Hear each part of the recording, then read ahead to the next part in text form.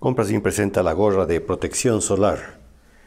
Estupenda porque tiene esta tela en la parte posterior para cubrir su cuello, parte de sus hombros.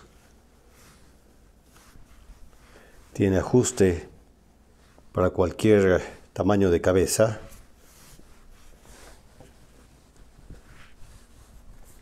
Es muy fresca para el uso tiene compartimentos para que el aire pueda circular, ideal para atravesar este tiempo de días calurosos y protegerse de los rayos UV.